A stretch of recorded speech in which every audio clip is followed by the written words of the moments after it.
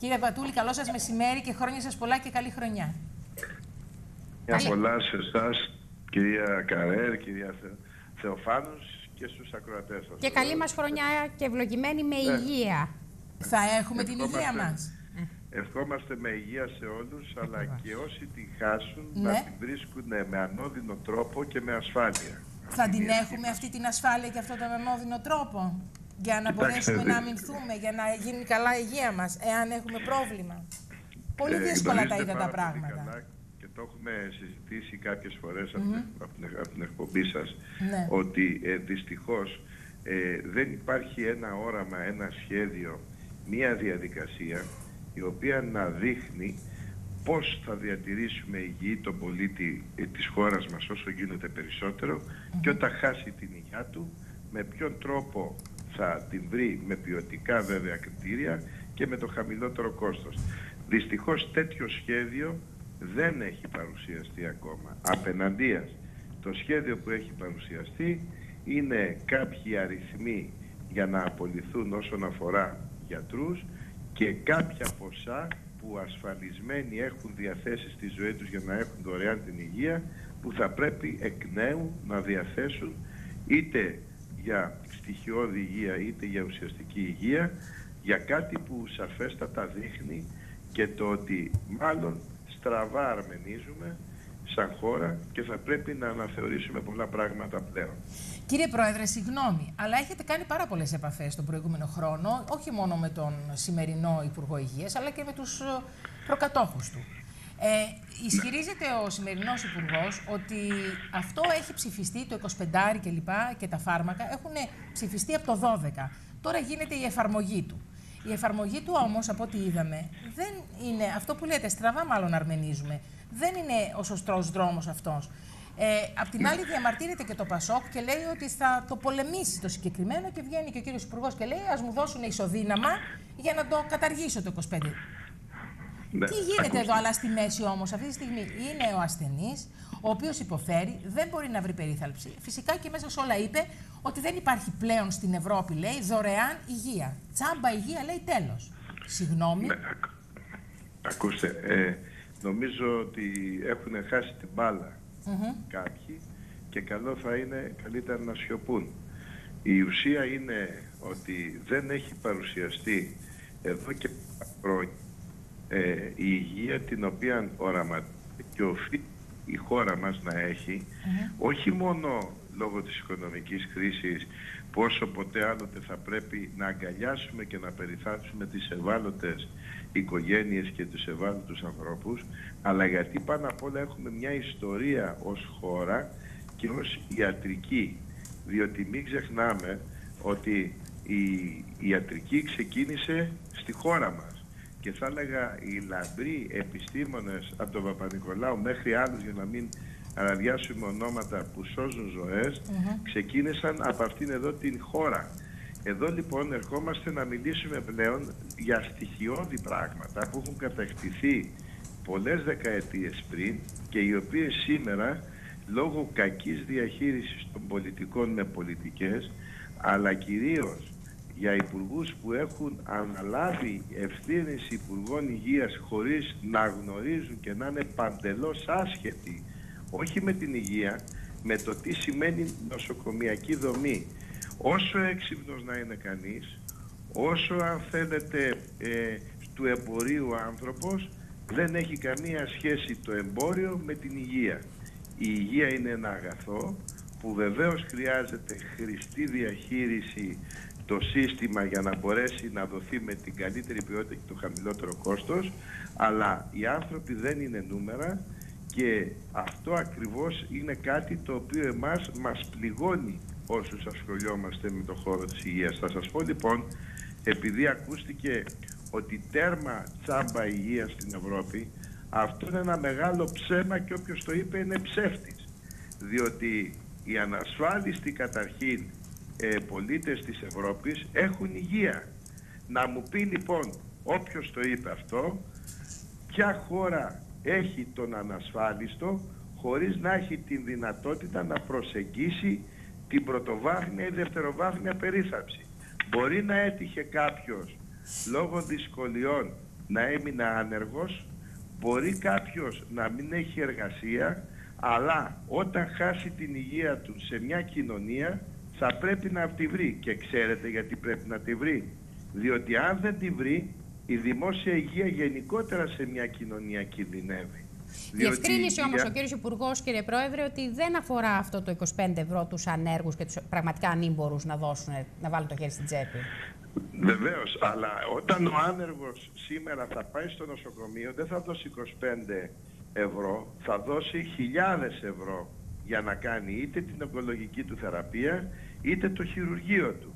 Ο μόνος σήμερα που μπορεί να μπει στο νοσοκομείο θα πρέπει να είναι στα 4, δηλαδή ξαπλωμένος, για να πάει ως επίγον περιστατικό. Κανένας ανασφάλιστος δεν μπορεί να μπει στο νοσοκομείο σήμερα εάν δεν πληρώσει και μάλιστα δεν πληρώσει χιλιάδες ευρώ. Διότι καταλάβετε ότι δεν είναι μόνο το 25 για αυτόν. Ναι. Βεβαίως δεν θα πληρώσει το 25 Διότι πληρώνει και τα φάρμακα δηλαδή της νοσηλείας του. Πληρώνει τα, τα πάντα. Πληρώνει τη νοσηλεία, πληρώνει τα πάντα. Και πάτε τον Υπουργό ή την ηγεσία του να σας το διαβεβαιώσει αυτό. Μα, διαμα... λοιπόν... Μα ο κύριος Υπουργός το αρνείται αυτό. Λέει δεν γίνεται αυτό το πράγμα. Ο ανασφάλιστος λέει θα πάει και θα εξυπηρετηθεί. Όσο λέει για τα 25 ευρώ το θεωρεί πάρα πολύ λογικό γιατί λέει οι περισσότεροι από εμάς θα πάμε μία φορά το χρόνο σε ένα νοσοκομείο, θα χρειαστούμε και αν το χρειαστούμε, δηλαδή ότι είμαστε ένας πολύ υγιής λαός. Και αν θα χρειαστεί, ε, τώρα, άμα θα πας και μία φορά στο, το χρόνο στο νοσοκομείο και πληρώσεις 25 ευρώ, βεβαίως και δεν είναι τίποτα. Άμα θα πας, σου το μία φορά. Όταν όμως είσαι χρόνια άρρωστος, μπαίνεις, βγαίνεις, θα δίνεις 5 και θα βγαίνεις με 25, ε, πώς θα τα βρεις; Ακούστε να δείτε, είναι καταρχήν και εγώ το χαρακτηρίζω ανόητη απόφαση. Και όποιος τη στηρίζει είναι κακό πράγμα να στηρίζει ανόητες αποφάσεις. Υπό αυτή, μόνο κακό μπορούν να του προξενήσουν. Και γιατί έχει τη... στυλώσει τα πόδια τόσο πολύ και επιμένει τόσο πολύ; Ποιοι τον συμβουλεύουν για όλα αυτά, γιατί δεν είναι ειδικός ο κύριος Υπουργός. ακούστε να δείτε. Ε, θεωρώ ότι κάποιος ο οποίος έχει την ευθύνη ενός φορέα και πολύ περισσότερο ενός Υπουργείου, από εκεί και πέρα ή θα πρέπει ε, να εφαρμόσει κάποιες πολιτικές οι οποίες επαναλαμβάνω εγώ τις χαρακτηρίζω ανόητες διότι και το ποσό θα είναι πολύ μικρό το οποίο θα αποκομίσουν από αυτή τη διαδικασία. Λέει θα είναι για τα φάρμακα των ανασφάλιστων και των ανέργων. Θα πηγαίνουν δηλαδή για τα φάρμακα. Ακούστε, ας βρουν άλλες πηγές όπως είναι ο εξορθολογισμός μέσα από κεντρικό τρόπο προμηθειών των νοσοκομείων και μέσα από τη χρηστή διαχείριση των ίδιων των νοσοκομείων με τους διοικητές και έχουν τρόπους να βρουν άλλα ποσά. Δεν είναι δυνατόν να εμπλέκεις εκτός στο δημόσιο τομέα τα απογευματινά ιατρία που πρέπει πάλι να πληρώσει ο ασφαλισμένος για να βρει τακτικά ιατρία στα νοσοκομεία, να εμπλέκεις ακόμα, έστω αν θέλει για κάποιο συμβολικό ποσό, για κάποιους άλλους σημαντικό ποσό, την εισαγωγή σου σε ένα νοσοκομείο με ένα χρηματικό ποσό που στο δημόσιο νοσοκομείο θεωρώ ότι αυτοί οι ασφαλισμένοι ήδη έχουν πληρώσει για να βρουν δωρεάν περίθαλψη. Εάν θα την βρουν ποιοτική ή αν έχουν να δώσουν χρήματα για την ιδιωτική νοσηλεία είναι κάτι άλλο που αφορά. Αλλά η στοιχειώδη εντελώς δωρεάν υγεία θα πρέπει να υφίσταται. Και το δεύτερο, για να μην μείνει αναπάντητο, σας πληροφορώ, ο ανασφάλιστος σήμερα πολίτης, και αυτό σας φαίνεται το καταγγέλω κιόλας, και ας το διαψεύσουν ναι. Εάν δεν είναι επίγον περιστατικό πληρώνει και γι' αυτό ογκολογικοί ασθενείς ανασφάλιστοι ναι. σήμερα δεν έχουν δυνατότητα θεραπείας εκτός από κάποιες συγκεκριμένες κλινικές ελάχιστες που πέραν των νόμων, διότι αυτά λέει ο νόμος, υπερβάλλουν αυτούς και μπορούν να δίνουν σε κάποιες περιπτώσεις πολύ συγκεκριμένες σε ανασφάλιστους νοσηλεία. Αυτό όμως δεν είναι ο κανόνας. Κύριε ο Πατούλη, κανόνας σήμερα άκουσα, δυστυχώς είναι διαφορετικός. Άκουσα σήμερα καρκινοπαθή. Ο άνθρωπος δηλαδή, τι να σας πω, εγώ τουλάχιστον αισθάνθηκα πάρα πολύ άσχημα σαν Ελληνίδα πολίτης. Ε, είναι χρόνια άρρωστος, εδώ και πέντε χρόνια ε, πάσχει από καρκίνο. Κάνει χημειοθεραπείες. Μέχρι τώρα μας είπε ότι δεν πλήρωνε. Επειδή δεν είχε σφραγιστεί το βιβλιάριό του και ενώ είχαν δώσει περιθώρια μέχρι τέλη Φεβρουαρίου για να σφραγιστούν τα βιβλιάρια, πήγε να κάνει τη χημειοθεραπεία του και αυτή τη στιγμή του ζητήσανε 300 ευρώ όταν η σύνταξή του είναι 400-500 ευρώ. Αυτός ο άνθρωπος απελπισμένος δεν δεχτήκανε, γιατί και οι γιατροί τι να σου κάνουν, πού να τα βρουν τα φάρμακα, εάν δεν υπάρχουν, εάν θα πρέπει να λογοδοτήσουν. Και ο άνθρωπος χρειάστηκε λέει, να δώσει 300 ευρώ, τα οποία βεβαίως δεν είχε, δεν έδωσε και δεν έκανε τη χημειοθεραπεία του. Εάν ομιγέννητο συμβούν κάποιοι θάνατοι, ποιος θα τα χρεωθεί αυτά, ποιος θα. Ποιος, εν πάση περιπτώσει, ευθύνεται για όλη αυτή την, την αβεβαιότητα που έχει ο κόσμος; Κοιτάξτε, είναι πολύ σημαντικό Και καταρχήν, μέχρι σήμερα δεν πληρώναν οι καρκινοπαθείς, δηλαδή οι χρόνια άρρωστοι κλπ. στα νοσοκομεία. Όχι, ακού, ακούστε, ακούστε. Αυτή τη στιγμή ο καρκινοπαθής δεν θεωρείται επίγον περιστατικό. Ναι, το είναι επίγον χρόνιο. περιστατικό, όπως σας είπα, Ναι. ε, βάσει του νόμου, κακώς, θεωρείται μόνο εκείνο το οποίο είναι αποτροχαίο, είναι κάποιος ο οποίος το Έφραγμα πηγαίνουν κλπ. τέσσερις και τα λοιπά.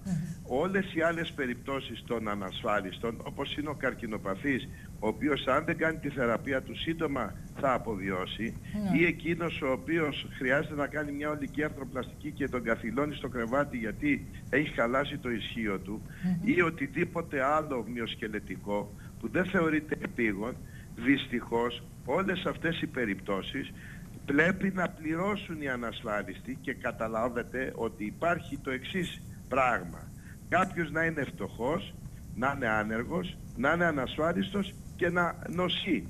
Τι χειρότερο μπορεί σε μια κοινωνία να συμβεί; Αυτό λοιπόν το οποίο σαφέστατα θα έπρεπε να διεκδικήσουν από εκείνους οι οποίοι συζητούν με την Τρόικα, με όποιους συζητούν, θα ήταν όλα να τα δεχτούμε.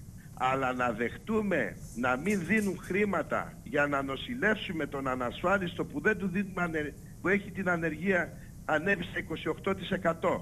Δεν είναι ανεκτό. Άρα λοιπόν πάνε να βάψουν αυγά, για να μην πω με τι, Ναι. όταν λένε το 25 ευρώ θα το δώσουμε για φάρμακα στους ανασφάλιστους. Ναι. Αυτό είναι ένα Μισό μεγάλο λεπτό, κύριε ψέμα. Πρόεδρε, εδώ μπερδευόμαστε όμως, γιατί ο κύριος ε, ο Υπουργός λέει. Δεν θα πληρώνουν τα 25 ευρώ όσοι είναι ανήμποροι, όσοι, δεν, όσοι είναι άνεργοι, όσοι ε, α- αποδεικνύουν ότι δεν μπορούν, όσοι δεν μπαίνουν για διανυκτέρευση στο νοσοκομείο, όσοι πάσχουν από χρόνια νοσήματα. Άρα μας μπερδεύετε τώρα με αυτά. Δηλαδή, με αυτό που μας λέτε ότι και όμως όλοι θα θέλουν χιλιάδες ευρώ για να νοσηλευθούν. Ο ανασφάλιστος, επαναλαμβάνω, αυτή τη στιγμή λέει ότι δεν θα πληρώσει τα 25 ευρώ, αλλά πληρώνει τη συνολική του νοσηλεία αν δεν είναι επίγον περιστατικό. Μόνο τα Αυτό επίγοντα λοιπόν σου λέει. είναι ένα τραγέλαφος να το συζητάμε. Και Εδώ, μπερδεύεται λοιπόν, ο κόσμος, γιατί άλλο το επίγον περιστατικό και άλλο το χρόνιο περιστατικό που θα πάει. Το για επίγον να νοσηλευτεί. περιστατικό είναι με το ΕΚΑΒ να είσαι ξάπλα Ναι. για κάποιο λόγο και να σε πάνε όποιος και να είναι Ναι. θα τον νοσηλεύει. Όταν όμως κάποιος έχει μια χρόνια νοσηλεία και κυρίως ο ογκολογικός ασθενής Ναι. θα πρέπει να πληρώσει την νοσηλεία του, εσείς το είπατε κιόλας, με Ναι. 300 ευρώ 300 Και- ευρώ λέει ο άνθρωπος, το οποίο δεν για έχω λέει, να 200 δώσω. και να ξαναπάει πάλι και άλλα τόσα και άλλα τόσα γιατί οι θεραπείες αυτές κοστίζουν και είναι και ε, ε, ε, διαρκείς για να μπορέσει να ζήσει. Αυτό το οποίο εμείς λοιπόν λέμε δεν θέλουμε τίποτα περισσότερο από τους Ευρωπαίους, δεν θέλουμε όμως και τίποτα λιγότερο από τους Ευρωπαίους. Ναι. Ό,τι ισχύει σε όλη την Ευρώπη, ανεξάρτητα της οικονομικής κατάστασης της χώρας, αν θέλουμε να λέγομαστε μέλη αυτής της οικογένειας της Ευρωπαϊκής, θα πρέπει να ισχύει για όλους τους κατοίκους του Ναι, αλλά ο κύριος Υπουργός ισχυρίζεται ότι στην Ευρώπη έχει τελειώσει, λέει, η δωρεάν υγεία. Όλοι πληρώνουν κάτι, το κάτι της τους που λέμε. Και αυτό Ε, συνέβαινε, ε. λέει, μόνο στην Ελλάδα. Κοιτάξτε, καλό θα είναι οι πολιτικοί όταν βγαίνουν να μην μιλάνε με γενικότητες και να μιλάνε με ειδικότητες. Άρα λοιπόν το καλύτερο θα ήταν όταν θα πούν το όραμα, τη στόχευση και τη στρατηγική για την υγεία να πούν ακριβώς και ποια είναι η στρατηγική και ποια είναι η υγεία στις άλλες χώρες και όχι με γενικότητες να λένε ότι πληρώνουν. Ναι. Αυτό το οποίο ακούγεται είναι, δεν θέλω να πω άλλους χαρακτηρισμούς, Ναι. διότι είναι και χρονιάρες μέρες. Ακριβώς. Αυτό όμως που σαφέστατα θα πρέπει να κάνει εκείνος ο οποίος ηγείται αυτής της προσπάθειας είναι να δώσει τα σαφή παραδείγματα που υπάρχουν στην Ευρώπη και πού. Αλλιώς αυτό που θα έπρεπε να διεκδικήσει ο εκάστοτε Υπουργός Υγείας είναι η ισοτιμία της υγείας για όλους τους Ευρωπαίους πολίτες και για τη χώρα μας είτε εργάζεται κάποιος είτε δεν εργάζεται. Μιλάμε για το στοιχειώδες αγαθό το οποίο εάν κάποια κοινωνία, εάν κάποια χώρα δεν το εξασφαλίσει σε λίγο θα χάσει και τους πολίτες του. Εάν λοιπόν κάποιοι δεν μπορούν να έχουν εργασία για ένα μικρό χρονικό διάστημα, πρέπει να χάσουν και τη ζωή τους, τότε θεωρώ ότι έχουμε χάσει και τη στρατηγική μας και τη στρατιά μας. Αυτή την έρευνα την ξέρετε που λέει ότι το προσδόκιμο των Ελλήνων έχει μειωθεί κατά τρία χρόνια σε σχέση με τα πριν ξεκινήσει η κρίση; Αυτή η έρευνα υπάρχει, Ναι. ε, έχει πέσει και στη δική μας αντίληψη. Ναι. Θεωρώ ότι γίνονται και άλλες έρευνες οι οποίες θα λάβουν τα φώτα της δημοσιότητας ε, ίσως πολύ πιο πυκνοδομημένες στο επίπεδο της μελέτης. Ναι. Από εκεί και πέρα είναι σαφές ότι είναι ένα καμπανάκι το οποίο θα πρέπει να λάβουμε υπόψη μας. Είμαστε μια χώρα με ιδιαίτερη ε, υπο, υπογεννητικότητα. Αντιλαμβάνεστε λοιπόν αυτή η υπογεννητικότητα εάν μεταφραστεί και σε αύξηση της νησιμότητος τότε αντιλαμβάνεστε ότι τα πράγματα τουλάχιστον για τον ελληνισμό και για τη χώρα μας δεν είναι αυτά που θα έπρεπε. Δεν μου Θεωρώ λέτε- λοιπόν Ναι. Θεωρώ λοιπόν ότι πρέπει μέσα από τη μεγαλοσύνη της ιστορίας και της ψυχής του κάθε Έλληνα στο ρόλο που διαδραματίζει να κάνει ό,τι μπορεί καλύτερο και εκείνοι οι οποίοι ηγούνται ευαίσθητα κομμάτια όπως είναι το κομμάτι της υγείας να καταλάβουν ότι δεν είναι η εφαρμογή ένα χαρτί που μας έδωσε η Τρόικα είναι η διεκδίκηση του πώς μπορούμε να εξορθολογήσουμε τα πράγματα αλλά και συγχρόνως να μην χάσουμε ανθρώπινες ζωές και ιδιαίτερα ανθρώπων που είναι στη χώρα. Πιστεύετε, κύριε Πρόεδρε, ότι υπάρχουν περιθώρια να το πάρει πίσω αυτό το 25 ευρώ ο Υπουργός; Κοιτάξτε να δείτε. Θεωρώ Γιατί ότι το ζητάει και το Πασόκ, ξέρετε. Είναι και αλήθεια μάλιστα ότι έχει έντονα, βρεθεί- πολύ έντονα το ζητάει. έχει να το βρεθεί πάρει σε πίσω. δύσκολη θέση, είναι σαφές και θα σας έλεγα τουλάχιστον να πούμε και ένα θετικό. Ναι. Όταν άκουσα μέσα από μία εγκύκλιο ότι αφαιρούσε ε, ευπαθείς ε, προ- ή χρόνιους ασθενείς ή αναπήρους μέχρι 80% λες και κάποιος που είναι 75% δεν είναι ανάπηρος Ναι. ε, ή ε, κάποιους οι οποίοι είναι φυλακισμένοι Ναι. εγώ θα έλεγα τον άνεργο γιατί δεν τον βάλανε μέσα μέσα σε αυτές τις εξαιρέσεις δηλαδή ο άνεργος δεν του χρωστάει κανείς αυτή την κοινωνία; Δεν του, δίνουν, δεν του δίνουν εργασία; Δεν του δίνουν διέξοδο; Δεν του δίνουν μέλλον; Και όταν ασθενήσει θα πρέπει ε, και εκείνος να πληρώσει με ποια χρήματα. Άρα λοιπόν θεωρώ καταρχήν ότι είναι ένα μέτρο άδικο, ε, εγκυμονεί κινδύνους για τη δημόσια υγεία γιατί κάποιοι θα προτιμήσουν να πάνε στο, στην επιπλοκή, δηλαδή όταν φτάσουν στο χείλος των πραγμάτων παρά να πάνε ε, όταν ε, βρίσκεται μια χρόνια κατάσταση σε εξέλιξη. Και αυτό εγκυμονεί κινδύνους για τη δημόσια υγεία. Αλλά και συγχρόνως θα σας έλεγα ότι είναι και ανόητη απόφαση διότι τα χρήματα τα οποία θα εξοικονομήσουν από μια τέτοια άδικη απόφαση είναι πολύ λίγα και δεν θα μπορέσουν να δοθούν παραελάχιστα στον προορισμό τους. Δηλαδή είναι καλό να λέμε στον άνεργο το 25 ευρώ ή οτιδήποτε άλλο η εφορία θα τον διεκδικήσει και θα τον έχει μια ρετσινιά μαύρη για αυτή την Λίστα. νοσηλεία του. Θεωρώ ότι δεν είναι. Καλύτερα θα ήταν να βάλουν πρωτόκολλα ε, εξορθολογισμού μέσα στις κλινικές. Γιατί μια κλινική χειρουργή, μια ε, παραδείγματος χάρη χολή και βγαίνει σε δύο μέρες και σε μια άλλη βγαίνει σε 15 μέρες ο ασθενής, τι συμβαίνει στη μια κλινική και στην άλλη ε, βγαίνει ε, ε, ζωντανός και υγιής. Αυτά θα έπρεπε να κοιτάξουν.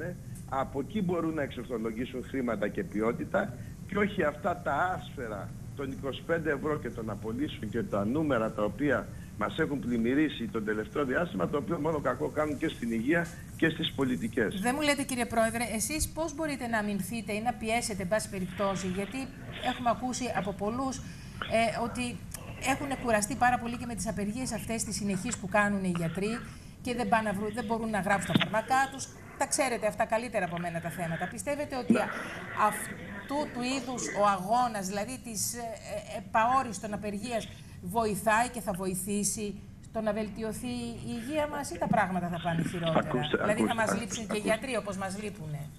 Ακούστε, νομίζω η διαχείριση της πολιτικής έγινε με τέτοιο τρόπο ώστε να γίνει σύγκρουση. Ναι. Δεν νομίζω κανένας σοβαρός πολιτικός δεν θα πήγαινε να πει θα σε απολύσω και να περιμένει ότι θα φύγει ε, εργαζόμενος και την επόμενη μέρα θα πάει σπίτι του. Η ανέμακτα. Νομίζω αυτό δεν έχει γίνει πουθενά. Ναι. Έπρεπε λοιπόν να διαχειριστούν τις πολιτικές με άλλους τρόπους, να βρουν μεταβατικά διαστήματα. Οι γιατροί είναι άνθρωποι που έχουν δώσει τον εαυτό τους, ε, στην πλειοψηφία τους εγώ θα πω, και από εκεί και πέρα νομίζω ότι η απεργία αυτή δεν έχει και καμιά έννοια, αφού ε, σε λίγες μέρες κλείνουν αυτές οι δομές, οι άνθρωποι θα πάνε ή σε πλήρη και αποκλειστική απασχόληση με έναν άλλο τρόπο λειτουργίας και κάποιοι άλλοι θα φύγουν οι οποίοι θα πρέπει να πάνε στα ιατρία τους. Άρα δεν νομίζω ότι σχετίζεται αυτή η απεργία το ε, θέμα ε, των ε, διαδικασιών. Βρίσκουν ή δεν βρίσκουν ε, τα γιατρία αφού αυτά θα κλείσουν. Ναι. Υπό αυτή την έννοια άλλο πράγμα ήταν μια ορθολογικότερη διαχείριση για ποια υγεία πάμε να φτιάξουμε σε ποιο χρονικό διάστημα ποιοι θα πάνε πού άρα δεν θα άνοιγε καθόλου μύτη και άλλο πράγμα είναι να ξεκινάνε ότι 2.500 γιατροί θα φύγουν, ότι θα κλείσουν δομές και όλα αυτά τα οποία ακούστηκαν με ένα τσαμπουκά θα έλεγα καταρχήν τις πρώτες μέρες που δημιούργησε έναν ανέτιο πόλεμο μεταξύ υγειονομικών, πολιτικών και ασθενών κάτι το οποίο νομίζω κανέναν δεν βοηθάει ιδιαίτερα αυτή τη στιγμή. Η χώρα μας περνάει και οικονομική κρίση και χρειάζεται ο κάθε πολίτης στοργή, ενδιαφέρον, χρειάζεται πραγματική υγεία και αυτό είναι ειδικό μας μέλημα και αυτή η μεγάλη μας στεναχωρία. Πιστεύετε Το ότι θα κοινωνικό- βγει, θα βγει, θα βγει αυτό; Θα Ε, βγούμε το, δηλαδή το από αυτό κοινωνικό όμως κόστος το εισπράττει ο ιατρικός κλάδος. Αυτό θέλω να πω. Δηλαδή, αυτό είπατε; που λέτε έρχεται σε κόντρα αυτό που λέ- λέτε. Ότι χρειάζεται στοργή ο ασθενής από το γιατρό του, ο κόσμος. Αυτή τη στιγμή έχει έρθει σε αντιπαράθεση με τους γιατρούς. Λέει: Ακόμα δεν έχω το γιατρό μου. Ναι, ε, Δεν μπορεί να το δει χρειάζεται έτσι. στοργή. Ακούστε, δεν χρειάζεται, ο γιατρός πάντα ε, ε, δεν στοργικά στον ασθενή. Στοργή χρειάζεται από τις πολιτικές που εφαρμόζονται. Δεν το εισπράττουν Χρειάζεται, όμως δηλαδή- εκείνοι το δεν το κόστος. εισπράττουν διότι ακριβώς όπως σας είπα έγινε μια κακή διαχείριση πολιτικής που εγώ θεωρώ ότι ήταν ανέτεια αυτή η πολιτική ε, και αυτό προξένησε όλη αυτή την αναστάτωση που εν τη αυτή περιπτώσει και να μην γινόταν αυτή η αναστάτωση αφού σε λίγες μέρες κλείνουν οι δομές βάσει του σχεδιασμού που γίνεται. Άρα λοιπόν ποιο είναι το πρόβλημα; Το πρόβλημα είναι η απεργία ή ότι σε λίγες χω- μέρες δεν θα υπάρχουν αυτές οι δομές και άρα θα πρέπει να οδηγηθούν σε άλλες λύσεις πέραν αυτών των δομών; Υπό Λύσεις αυτή θα την υπάρχουν, έννοια- ναι. Βλέπετε λύσεις εσείς. Σύντομα να Κοιτάξτε να υπάρξουν δείτε, και με τις ε, διαφορετικές δομές αυτές που είπατε. Είναι αυτό που σας είπα και λίγο πριν. Είναι ότι θα έπρεπε να μας έχουν αναδείξει στον ελληνικό λαό. Ναι, Στον ελληνικό λαό, παρουσία όλων. ναι. Ε, ποια είναι η στρατηγική, ποιο είναι το χρονοδιάγραμμα, ποια υγεία είχαμε, ποια υγεία δημιουργούμε. Άρα εσείς Αυτό- περιμένετε τη αν στρατηγική ρωτήσετε- ακόμα. Αν ρωτήσετε σήμερα το Υπουργείο, το Γραμματέα ή άλλους υπηρεσιακούς παράγοντες, εγώ θεωρώ ότι μάλλον διαφορετικά πράγματα θα σας πει ο ένας με τον άλλον. Δεν υπάρχει στρατηγική, δεν τη γνωρίζουμε τουλάχιστον εμείς αν υπάρχει και αυτό δημιουργεί μεγάλα αδιέξοδα, πιθανολογούμε, δηλαδή αν σας πω εγώ τι θεωρώ, θα σας πω αυτό το οποίο έχω εξάγει ως συμπέρασμα. Όχι από ένα κείμενο το οποίο λέμε αυτό εφαρμόζουμε σε αυτό το χρονικό διάστημα με αυτούς τους όρους και με αυτές τις δομές.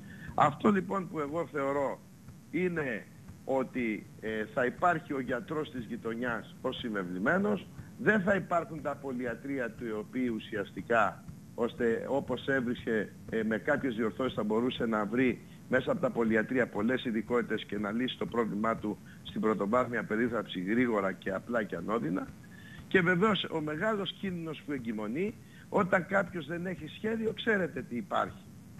Ο κίνδυνος των μεγάλων καρτέλ της υγείας οι οποίοι βρίσκονται πρώτων πυλών να δώσουν τη δική τους παρουσία σε κάτι το οποίο επαναλαμβάνω δεν έχει ενότητα σαν κομμάτι υγείας και βεβαίως είναι υπαρκτός αυτός ο κίνδυνος.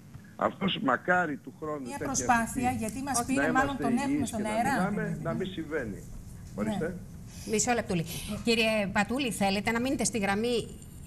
Ε, γιατί Έχουμε; στην τηλεφωνική γραμμή τον Υπουργό Υγείας, τον κύριο Άδωνη Γεωργιάδη. Επικοινώνησε Να μαζί μείνουμε μας. στον αέρα μαζί. Να, ε, να λύσουμε κάποιες κοινέ απορίες που έχουμε. Ε, αν θέλετε να μείνετε για λίγα δευτερόλεπτα, είναι το καλύτερο. Τον χάσαμε ή τον έχουμε τον Υπουργό; Τον καλούμε. Λοιπόν. Λοιπόν, ε, κύριε Πατούλη, νομίζω ότι είναι το πιο σωστό να Δεν σας παραμείνετε ενοχλεί λίγο στον αυτό; αέρα. Βεβαίως. Έχουμε. Χαρά μου θα είναι. Ωραία. Άμα είναι χαρά σας, Ε, Περιμένουμε λίγο γιατί τον χάσαμε. Τον πήραν γιατί είχαμε μια επαφή στο κινητό και τώρα τον πήραμε από το Εν σταθερό. πάση περιπτώσει, θα το ρωτήσουμε και βεβαίως και εσείς ότι είπατε ότι δεν έχει στρατηγική το Υπουργείο. Έτσι και τα πράγματα είναι δυσάρεστα και φτάσαμε εδώ που φτάσαμε. Θα δούμε τώρα τι θα μας πει ο κύριος ε, Γεωργιάδης, τον οποίο για να δούμε τον έχουμε, για τελικά δεν τον έχουμε. Για να προλάβουμε και το χρόνο της εκπομπής. Καλά, ο χρόνος εκπομπής μπορούμε να πάρουμε και λίγο παραπάνω, δεν υπάρχει θέμα. Χαρά μου, εγώ περιμένω με... Πολύ ωραία. Ευχαριστούμε πολύ κύριε Πατούλη. να μπορούμε Καταλαβαίνετε να- ότι το θέμα μερικά της πράγματα υγείας- για τους ανασφάλιστους, Ναι. αλλά και για... Καταλαβαίνετε ότι ξεκίνησε η καινούργια χρονιά και ο κόσμος έχει φοβηθεί πάρα πολύ γιατί καταλαβαίνετε ότι η υγεία είναι πολύ βασικό. Μπορεί να αρρωσταίνουμε μία φορά ή δύο φορές το χρόνο, αλλά αυτές τη μία ή δύο φορές θέλουμε σωστή υγειονομική περίθαλψη. Και αυτό, από ό,τι φαίνεται, είναι λίγο δύσκολη. Λοιπόν, έχουμε ένα τεχνικό θέμα. Είχαμε μια επικοινωνία στο κινητό ε, με τον Ναι. Υπουργό πριν από λίγο. Ήθελε να βγείτε παράλληλα στον αέρα. Βεβαίως, χαρά μου θα ήταν αυτή. Αλλά ε, σε κάθε Ωραία. περίπτωση... Βγαίνουμε. Ξεμπλέξαμε γιατί είχαμε μπλέξει τεχνικά. Τον Εντάξει. είχαμε στο Α, κινητό, τον πολύ έχουμε ωραία. στο σταθερό. Κύριε Ωραία. Υπουργέ, καλό σας μεσημέρι, καλή χρονιά. Καλή χρονιά για από με μένα. υγεία. Να είστε Είχαμε, καλά. έχουμε εδώ και αρκετή ώρα τον κύριο Πατούλη στην τηλεφωνική μας γραμμή. Ναι. Να συνοψίσω, ε, δεν ξέρω από ποιο σημείο και μετά ακούσατε, ότι εδώ μιλάμε Δεν υπάρχει ότι οι στρατηγική άνθρωποι βασικά. δεν είναι νούμερα, ότι μας πληγώνει ε, να τους χρησιμοποιούμε σαν νούμερα, να μην υπάρχει στρατηγική στο- από το Υπουργείο Υγείας. Κυρίως Σοβαρές στρατηγική. κατη- καταγγελίες από τον πρόεδρο του Ιατρικού Για, για, ποιο Συλλόγου. θέμα, για, για ποιο θέμα μιλάμε; Μιλάμε για τα περιβόητα 25 ευρώ. Και όχι μόνο. Και όχι μόνο. Ο κύριος Πατούλης, να συνοψίσω και να πω, που είναι στην άλλη γραμμή και σας ακούει, είπε ότι αυτή τη στιγμή ή που μπαίνει μόνον, μπαίνουν τα επίγοντα περιστατικά στο νοσοκομείο κάποιος στα 4 ή που διαφορετικά πρέπει να πληρώσει χιλιάδες ευρώ. Τι έχετε να απαντήσετε σε αυτό; Να το με τη σειρά. Πρώτα απ' όλα, όταν μιλάμε για πολιτική και όταν μιλάμε για τις ανάγκες των ανθρώπων, μιλάμε για νούμερα. Γιατί οι ανάγκες των ανθρώπων για να καλυφθούν χρειάζονται χρήματα. Για να πάρει κάποιος τα φάρμακά του, η φαρμακευτική εταιρεία θα το πουλήσουμε εδώ. Για να εργαστεί ο γιατρός, όσο καλός λειτουργός και να είναι και ιδεολόγος, στο τέλος θα πρέπει να τον πληρώσει. Ενώ ότι η διάκριση μεταξύ ε, αριθμών και ανθρώπων, κατά τη γνώμη μου, είναι μια σοφιστία. Οι ανάγκες των ανθρώπων μεταφράζονται σε χρήμα. Εάν αυτό δεν το καταλάβουμε, δεν θα συνεννοηθούμε. Κύριε Υπουργέ, ο Ηλίτσα Θεοφάνου είμαι. Καλή χρονιά Ναι. και από μένα. Καλή χρονιά. Ξέρετε Ναι. όμως, ο κόσμος και μάλιστα ο πονεμένος κόσμος δεν μπορεί να το καταλάβει αυτό. Ναι, δηλαδή το ότι κάθε- μπορούμε άκουσε, άκουσε. να βάλουμε Άκουσε, από τη ένα- μία ένα- τα ένα- χρήματα και που από μπορεί την να άλλη καταλάβει ο την υγεία. κόσμος είναι θέμα Καταλάβατε; του κόσμου. Εγώ σας λέω τι ισχύει. Ναι. Σας ξαναλέω, οι ανάγκες των ανθρώπων καλύπτονται με λεφτά. ναι. Τα λεφτά ή τα έχεις και άρα καλύψεις ανάγκες των ανθρώπων ή δεν τα έχεις και δεν μπορείς να τα βρεις και οι ανάγκες των ανθρώπων δεν καλύπτονται. Εγώ δεν μπορώ να θέλω να το παίζω καραγκιόζης και να σας λέω θα καλύψω τις ανάγκες των ανθρώπων επειδή θα βγάλει ένα ωραίο δελτίο τύπου ο ιατρικός σύλλογος Αθηνών πάει μας χάρη. Γιατί ο ιατρικός σύλλογος Αθηνών έχει γιατρούς που έρχεται εδώ ο κύριος Πατούλης ο φίλος μου και δεν απλήρωτοι οι γιατροί, θέλουμε λεφτά εδώ, θέλουμε λεφτά εκεί. Και καλώς το λέει, γιατί έτσι είναι. Αλλά αφού το λέει για τους γιατρούς που να πληρώνονται, ε, μην κάνουμε τώρα αυτή τη βλακώδη Υπουργέ. διάκριση αν είναι οι άνθρωποι τα νούμερα, το Κύριε- ίδιο είναι. Και τα Κύριε- νούμερα και οι άνθρωποι. Κύριε Υπουργέ, την ώρα που λέει όμως ο κύριος Πατούλης ότι μόνο στα 4 κάποιος ως επίγον περιστατικό Μόνος θα είναι στα; αποδεκτός στα 4 Με το ως ΕΚΑ. επίγον περιστατικό. και Για τον με το ΕΚΑ. ανασφάλιστο λέτε τώρα. Ναι, Ναι, ναι. εδώ τώρα θέλω να, να μας απαντήσετε. Το γιατί ο θέμα κόσμος- των ανασφαλίστων, ακούτε τώρα πώς γίνεται άλλη μία περίπτωση μεταξύ μας ασυνεννοησίας. Το 25 ευρώ Ναι. θεσπίστηκε για να μπορούν τα νοσοκομεία το 2014, όπου έχει μειωθεί ο προπολογισμός τους περίπου 200 εκατομμύρια από το 2013, να εξακολουθήσουν να έχουν κωδικούς όπου θα δίνουν φάρμακα στους απόρους. ναι. Ο κύριος Πατούλης και όσοι αντιδρούν λένε ταυτόχρονα να μην πληρώνουν το 25 ευρώ, άρα να μείνουν οι άποροι χωρίς φάρμακα και ταυτόχρονα μα τι κρίμα που οι άποροι δεν περιθάλπτονται. Καταλαβαίνετε τι σας λέω; Είναι έτσι κύριε Πατούλη; Ναι, ακούστε, ακούστε, ακούστε. Ναι. Καταρχήν να συμφωνήσουμε ότι το δόγμα γενικότερα που ισχύει και για την υγεία και για άλλα πράγματα είναι η καλύτερη ποιότητα με το χαμηλότερο κόστος. Αυτό ούτε συζήτηση.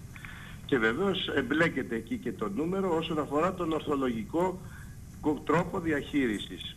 Ε, είναι σαφές όμως ότι σε μια α, προσπάθεια η οποία γίνεται και αφορά τον ανασφάλιστο πολίτη δεν είναι δυνατόν να βάζουμε έναν ασφαλισμένο πολίτη που έχει πληρώσει έστω και αυτό το στοιχειώδες κομμάτι του ποσού των 25 Γιατί δεν ευρώ, είναι δυνατόν; το, Τι το λέει; θα, θα πω. Εγώ αντιλαμβάνομαι ότι μπορεί να το Όχι, πει γιατί και δεν ο- είναι δυνατόν; Θα- θα Εγώ σας θα το σας πω. φέρω 15 ευρωπαϊκές Θα χώρες, σας το πω.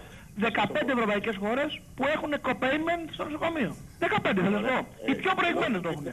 Ωραία. Εγώ θα το ήθελα Έλα, να το συγγνώμη κύριε πω. Πατουλένοτο. Ποιος είπε και πού το έχει γράψει ότι δεν μπορείς να βάλεις συμμετοχή του ασθενούς αν έχει πλήρως ασφάλιση; Πού το είδατε γραμμένο αυτό; Ποιος το είπε; Ναι, θα, θα σας πω, θα σας πω. Αυτά να Καταρχήν, ξέρετε, ε, αυτά μας φέραν στη χειροκοπία.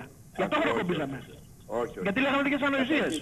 Καταρχήν, καταρχήν. Όχι, θέλω να μου πρέπει πείτε πού το έχετε δει γραμμένο, που λέτε αυτό πράγμα, πού το είδατε γραμμένο. Πείτε μια χώρα της Ευρώπης που λέει αυτό απαγορεύεται. Καταρχήν δεν είπαμε απαγορεύεται. Α, εσείς το λέτε λοιπόν. Είναι η άποψη του Ιατρικού Συλλόγου Αθηνών. Δεν είναι τι ισχύει. Καταρχήν άκουσα με μεγάλη προσοχή. Αν μπορέσω Ναι, αλλά να ξέρετε βρω- τω- τώρα εδώ και τρεις ημέρες ζω το εξής θέατρο του Ναι. παραλόγου κύριε Πατούλη. Ακούστε, ακούστε. Ναι, αλλά... Δεν ξέρω να αλλά σας εκτιμώ σε μπορέσω- προσωπικό επίπεδο, αλλά να το τελειώσουμε. Όποιος Ναι, αλλά βγει και ένα μου πει λεπτό, αύριο. ένα λεπτό. Όποιο ένα λεπτό. Ένα Όχι, λεπτό. όχι, θέλω να με ακούσετε, θέλω να με ακούσετε. Γιατί δυστυχώς και ο Ιατρικός Σύλλογος Αθηνών έχει πάρει μέρος αυτό. λεπτό. Όχι, όχι, θέλω να με ακούσετε. Εάν ο Ιατρικός Σύλλογος Αθηνών βγάλει εγκύκλιο και πει ή δελτίο τύπου εγώ δέχομαι να μην πληρώνουν τα νοσοκομεία για τα φάρμακα των απόρων, αλλά θέλω να φύγει το 25 ευρώ, δεσμεύομαι να τα αφαιρέσω. Μάλιστα. Πείτε Λοιπόν, το. εγώ Σαφές. λοιπόν κάνω Πείτε μια το. άλλη αντιπρόταση. Πείτε το. Μπορείτε το πείτε. Κάνω μια άλλη, κάνω μια άλλη Αφού δεν αντιπρόταση. μπορείτε να το πείτε, σας παρακαλώ πολύ, αφήστε να κάνουμε τη δουλειά μας επιτέλους. Δεν θα μπω στο κοινωνικό αυτοματισμό αυτό. Γιατί; Εντάξει, τότε εγώ θα κάνω μια άλλη πρόταση. Θα πω λοιπόν ότι, ότι κόβουμε το μισό, το μισό των γιατρών του εσύ για να μπορούμε να έχουμε τα φάρμακα τους απόλυτους. Συμφωνείτε σε αυτό; Και να πω την επόμενη σπατούλη. Μπορώ να κάνω εγώ την Μπορώ να την κάνω την που μπορεί πρόταση. να έχει- Που μπορεί να Λοιπόν, την έχει σκεφτεί. να κάνουμε και ο εσείς υπουργός. διαιτητές. Δεσμεύεστε Ένα κύριε λεπτό. Πατούλη σε αυτό Ο το Ένα λεπτό, λαϊκισμός κύριε Δοπάλο. έφερε την Ελλάδα Τώρα, εδώ. ένα λεπτό. Το Ένα λαϊκισμό λεπτό θα το να μάθουμε. ακούσουμε. Δύο Υπουργός. λεπτά. Ναι. Το ότι εδώ δεν μπορεί να κάνει ο καθένας ότι είναι ο σοφός της παρέας. Πρέπει να ακούει κιόλας. Δεν μπορεί να κάνει και την ερώτηση και την απάντηση. Εδώ λοιπόν για να σοβαρευτούμε λιγάκι επιτέλους.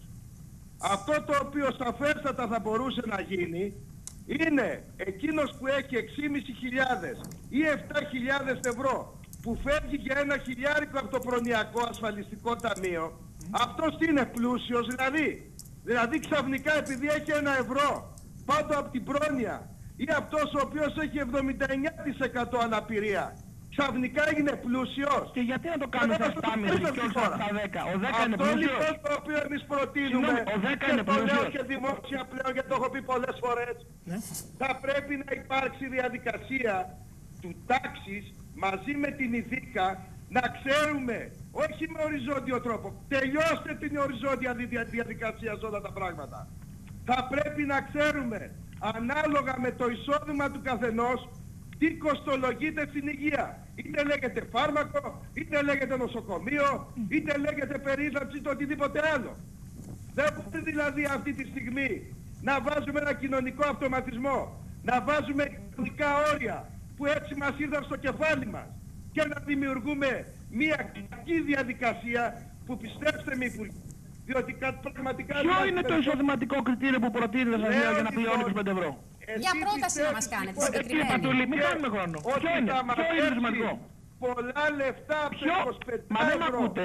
που Ποιο θα είναι το στην σημαντικό εφορία κριτήριο που προτείνει ο για να ίσα; μπορέσεις να δώσεις θεραπεία. Ποιο είναι το εισοδηματικό κριτήριο σας λέω; Πού το βάζετε; Το Σε ποιο είναι- νούμερο; Το εισοδηματικό κριτήριο είναι εκείνο το οποίο ορίζεται Το νούμερο, από το πείτε μου. τάξης Συγγνώμη. βάζοντας τα στοιχεία της ειδίκα της υγείας Ναι. και το οποίο πραγματικά θα μπορούσε να σου δώσει τη διακή συμμετοχή Τι σε όλα σχέση τα έχει τώρα αυτό που μου λέτε. Σας ρωτάω. Το εισοδηματικό κριτήριο πάνω από το οποίο θα πληρώνει ο ασθενής τη συμμετοχή; Ποιο θέλετε να είναι; Ποια είναι η πρόταση του ίσα. Να την ακούσω. Η Το νούμερο, πρόταση πού το βάζετε; Θα, θα μπορούσε να ξεκινάει από 0 ευρώ μέχρι 1 ευρώ, 2 ευρώ ή όσο- όσο πάει. Ποια- Δεν, έ- δεν καταλάβατε. Τελικά Σας ρωτάω, κλίμαξη. από ποιο σημείο και πάνω εσείς θα βάζετε να πληρώνει ο ασθενής; Από ποιο Στο εισόδημα δηλαδή στην εφορία που δηλώνουμε, από 100.000 και πάνω, από 20.000 και Εγώ- πάνω; Εγώ να, σας πω, να, να, να πω κάτι. Ναι. Δεν θα έβαζα καθόλου αυτή την περίοδο ειδικά διότι θα σας, και να το ηχογραφήσετε γιατί είμαι σίγουρος Μα ότι θα, το θα είναι κάνετε. στο όλο το διαδίκτυο η Θα είναι κουβέντα στο σας, διαδίκτυο ναι. η κουβέντα. Ακούστε με λιγάκι λοιπόν. Ναι. Αυτό το ποσό που θα μαζέψει το Υπουργείο Υγείας θα είναι τόσο μικρό που είναι ανόητη ήδη η συζήτηση που γίνεται σήμερα στο ελληνικό κράτος. Λοιπόν, Κάνετε, κάνετε να μεγάλο λάθος. καταλάβουμε Κάνετε ότι μεγάλο είναι μια λάθος. Η πρώτη, ανόητη η πρώτη μέρα εφαρμογή. πολιτική Κάνετε απόφαση, λάθος. Η πρώτη την μέρα οποία εφαρμογή του καλώ μέτρου τον Υπουργό δείχνει ότι και όλοι το την πληρώνουν. εκπομπή Κανένα σας πρόβλημα υπάρχει. Να την ανακαλέσει εδώ και τώρα. Διότι είναι ανόητη, διότι δεν θα βγάλει κανένα ποσό, διότι δημιουργεί μια διαδικασία άδικη που κάποιοι δεν θα μπορούν να τα πληρώσουν και βεβαίως δεν θα πρέπει να βάζουμε ότι ο ανασφάλιστος θα πάρει το φάρμακό θα μπει το 25 ευρώ. Δεν είναι σοβαρό ούτε αυτό. Σας έκανε Διότι μια θα- αντιπρόταση ο δεν θα- Υπουργός όμως, κύριε Πατούλη. Σας έκανε η μια πρόταση, αντιπρόταση. η πρόταση λοιπόν είναι Να γεννήσουμε λεφτά από το διάστημα. κεντρικούς πολυδιαγωνισμούς για τα νοσοκομεία να εξορθολογήσει τα ζητήματα εξορθολογισμού. Ας δούμε παραδείγματος χάρη που λέμε τα one day clinic που ξέρω ότι εκεί παλεύει που θα μπορούσε το κόστος να είναι μικρότερο αντί να μπαίνει σε ιδιωτικά νοσηλευτήρια. Υπάρχουν τρόποι να εξορθολογιστούν τα ποσά αυτά και ας αφήσει τον 25 ευρώ του φτωχού. Γιατί εγώ θα σας έλεγα κάποιος συμβολικά το 25 ευρώ μπορεί να το δώσει. Κάποιος το 25 ευρώ δεν θα μπορέσει να το δώσει. Και αν θέλετε θα πάει με την επιπλοκή που θα είναι περισσότερο το κόστος που θα στοιχήσει στο σύστημα υγείας και θα χαθούν και άδικα ζωές. Αυτό λέω ότι ο κοινωνικός αυτοματισμός Γιατί, συγγνώμη, πρέπει θα- να είναι έλα το- έλα το. μέσα από τον Γιατί θα απαγορέσουμε σε κάποιον να μπει στο νοσοκομείο αν δεν έχει να δώσει 25 ευρώ. Με συγχωρείτε, είπαμε πουθενά ότι θα Όχι, απαγορέσουμε σε είπατε κάποιον ότι να όταν, κύριε Υπουργέ, είχατε πει, αν κάνω λάθος διορθώστε με, ότι το 25 ευρώ θα το πληρώνω όταν θα βγαίνουν από την νοσηλεία και αν δεν έχουν θα πηγαίνει στην εφορία αυτό. Σωστά.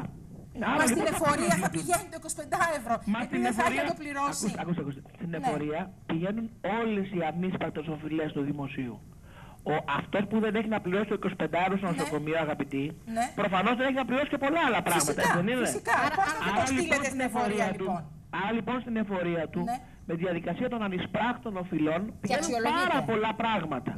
Προφανώς το ότι είναι σε τέτοια κακή οικονομική κατάσταση και η εφορία του βεβαιώνει οφειλές, δεν θα σταματάει αυτό να κάνει τη ζωή του, την κάνει και αυξάνει το χρέος στην εφορία. Σήμερα, ας πούμε, οι ανίσπρακτες οφειλές είναι περίπου 61 δισεκατομμύρια ευρώ. Αυτό δεν αποκλείει κάποιον, παραδείγματος χάρη, να οδηγεί το αυτοκίνητό του που άμα περάσει το κόκκινο φάρος θα του βάλει 500 ευρώ πρόστιμο και αφού δεν έχει το πληρώσει του πάει με ανίσπρακτη οφειλή. Καλά, δεν μιλάμε για τέτοιες τραβηγμένες ιστορίες. Καταλάβατε. Μιλάμε Άρα για το τα. επι- Ακούστε, ακούστε. Εγώ θέλω να είμαι ειλικρινής. Για τους ανθρώπους που επιχείρημα υποφέρουν διάβασα πραγματικά. χθες, το επιχείρημα που διάβασα χθες στο δελτίο τύπου του Ιατρικού Συλλόγου Αθηνών ότι κάποιος θα αποφασίσει να μην πάει στο νοσοκομείο επειδή δεν έχει να πληρώσει το 25 ευρώ, με συγχωρείτε, εγώ αυτό δεν το πιστεύω. Θεωρώ ότι αδικεί τον κύριο Πατούλη, αδικεί τον Ιατρικό Σύλλογο Αθηνών, είναι επιχείρημα που δεν μπορεί να τον γράψει επιστήμονες και δεν είναι καν τον πραγματικό κόσμο.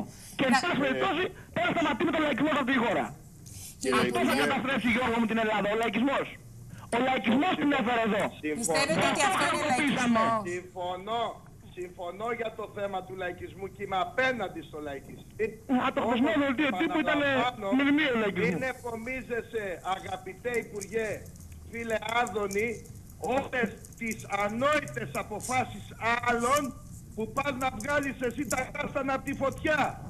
Αυτό ελάχιστο. Το μέτρο δεν το έχω ποσό ψηφίσει θα εγώ μεν, διαθέσεις ως στο υπουργός, σύστημα αλλά το υγείας, μέτρο είναι σωστό. Ενώ κάνει πολύ κακό και στην κυβέρνηση και στο επίπεδο της αδικίας απέναντι στην προσπάθεια που γίνεται. Κύριε Αυτό, Υπουργέ, λοιπόν, το υπά- λέω. υπάρχει πιθανότητα να πάρετε πίσω το 25 ευρώ. Όχι, καμία πιθανότητα. Α, Λοιπόν, σε ευχαριστώ πάρα πολύ. Πρέπει να κλείσω. Ευχαριστώ πάρα πολύ. Να είστε καλά. Γεια σας. Λοιπόν, κύριε Πατούλη, ακούσατε τον Η Υπουργό. ερώτηση δεν απαντήθηκε. Δεν όμως. απαντήθηκε, πάνω στην Υπεκφεύγοντας κρίσιμη- σε αυτό το θέμα. Εντάξει, Νομίζω δεν ήθελα να βρεθεί σε ότι δύσκολη θέση να πάρει. Είναι σαφές, διότι απαντήσεις εγώ τουλάχιστον δεν έλαβα και για Ναι. το αντέχει. Και εγώ ήθελα να για το τα ρωτήσω πράγματα. για τον ασθενή τον χρόνια, τον καρκινοπαθή, ο οποίος πήγε και πλήρωσε σήμερα 300 ευρώ, μάλλον δεν είχε να τα πληρώσει και έφυγε. Τι γίνεται σε αυτές τις περιπτώσεις; Αλλά ο κ. Θα έχουμε μια άλλη. Ελπίζω ε, να έχουμε μια άλλη Ακούστε, επαφή.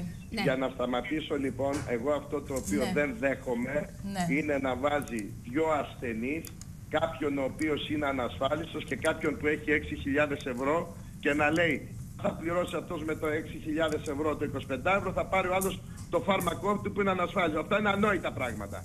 Θα πρέπει να σοβαρευτούν, θα πρέπει να καταλάβουν ότι η οικονομική κρίση δεν θα ανεχτεί κανείς να γίνει ανθρωποκτονική κρίση και μόνο μέσα από μια τέτοια διαδικασία νομίζω ότι μπορεί να γίνει ένας όχι προσχηματικός διάλογος, ένας ουσιαστικός διάλογος που έχει ανάγκη η χώρα μας όσο ποτέ άλλοτε. Ξέρετε, κατάλαβα από την κουβέντα που κάνατε μεταξύ σας ότι ο κύριος Υπουργός παίζει πάρα πολύ με τα νούμερα. Είδατε που του έκανα και εγώ την ερώτηση, «Ε, δεν μπορούμε να βάζουμε τα νούμερα απέναντι από τους ανθρώπους και είπε ότι τα χρήματα κλπ. Εν πάση περιπτώσει έχει τη δική του άποψη.